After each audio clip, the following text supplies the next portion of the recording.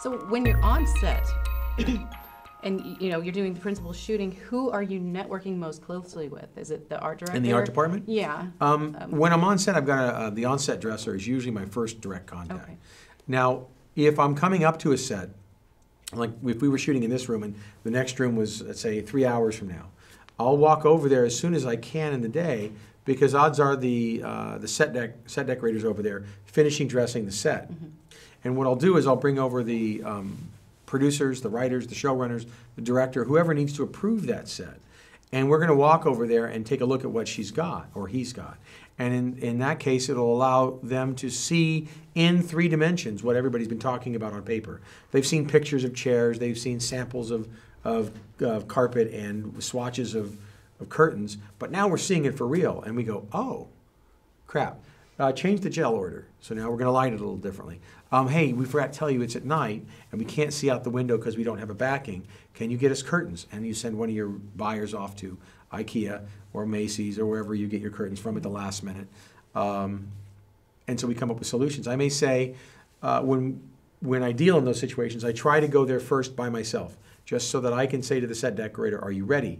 Do you have any questions?" It also allows me to preview problems because I can walk in there and go, "Ooh, okay," um, and then I'll go back. And I'll say to the director or the person who needs to see that problem, and then we can identify it before it becomes a full fledged. Everybody sees it because again, it doesn't do me any good to embarrass somebody. My job is to help them succeed. So even if I've got to fix their problem, I'm not doing it in such a way that it humiliates them. That doesn't do anybody any good.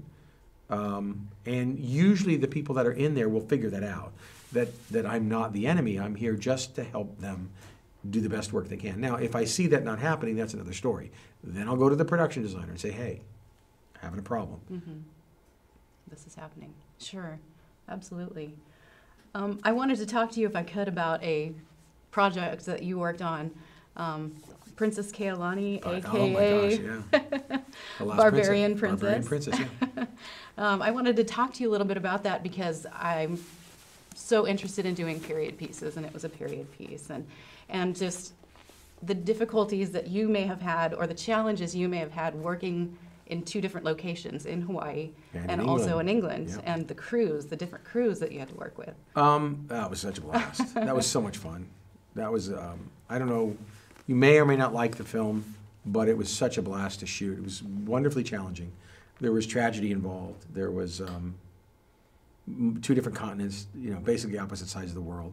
We were shooting in Hawaii and in, in uh, uh, northeastern England, um, in a little place uh, called Holcombe Hall, which is in the middle of nowhere. Beautiful countryside, wonderful giant manor.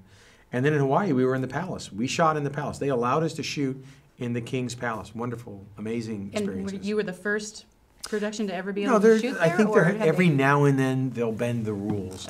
But when you shoot in Hawaii, there are politics involved. There's Mm. the royal family. There's uh, different historically conflicting groups of people in charge of it all, and you need everybody to sign off, Sure. not just not just the um, the people in the building.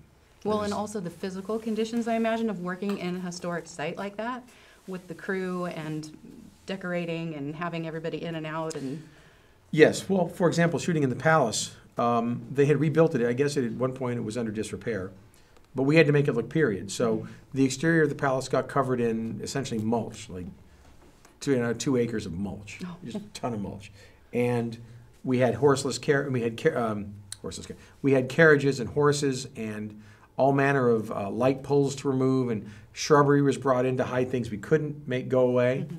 The building is largely the same as it originally was, so shooting outside of it was just a matter of putting on the bunting for the big celebration and lights and getting everybody in the right clothes. Shooting inside the building was a whole different manner because they said you could be in the building, but you can't bring heavy equipment on the wood. The wood is made of koa, which is a very rare, uh, beautiful Hawaiian wood. And since it was an antique floor, they said you couldn't do that. So we worked our way around that. The whole building is structured with giant rectangular windows that are almost floor to ceiling, and the ceiling is like a double tall ceiling on each level. And the idea was is you'd open these windows up a little bit and you get these wonderful breezes. So what we did is we opened the windows up and we put the camera on a super techno crane, and that became our camera in the room. So we would be talking here, and there'd be a window 20 feet this way, and the camera would come in like a robot. Right. And it was all controlled from outside. Okay. There was no lighting on the floor in the room. All the lighting had to come from outside.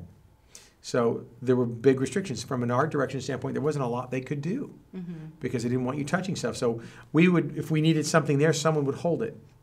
So we actually had a fake wall at one point that was being held by people. Oh, my goodness. You know, everybody had to wear booties because if you walked in there with any shoes at all, even even your socks didn't count. Barefoot, no good. You had on cloth, cotton booties, um, you know, foot covers. So it was it was challenging, and um, we shot at a Japanese pavilion that they had that was amazing, and we had to rebuild it. Essentially, we had to because it was gutted, it was empty. They had to decorate it all. So it was wonderful.